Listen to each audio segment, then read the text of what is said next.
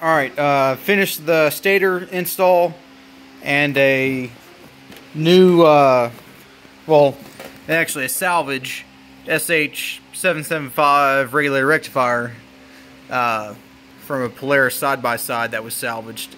I still need to clean up some of the wiring. I've got a, uh, like those two right there from the stator, I need to terminate those. And there's a few wires on here underneath the seat that were from the original uh, the original stator wiring like this guy and that these two right here that I'm going to have to uh, cut down and terminate those terminals so they don't short out on anything cause any more problems. So it's been on the battery tender. I'm sitting at 13 volts right now. I just unhooked it from the battery tender a minute ago. You can see the voltage is dropping a little bit at a time. Uh, got this put together. I still don't have the foot peg and everything on this side, but I mainly want to start it and see and see uh, what we got going on here. I got my helper out here, but she's not helping very much. Hi, Ellie. I'm going to be cleaning handprints off my windshields for the a while. Oh, she figured out how to work the door. Say hi.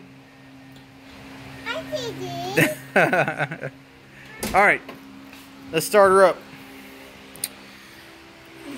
Fuel on, choke on, key on. I got lights and everything. That's good. Voltage drop and start.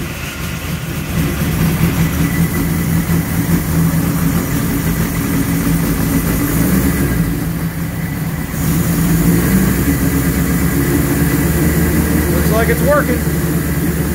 Take it. Alright, do a short little test. Idle, we're sitting at about 13-ish volts. Take her up to 5 grand.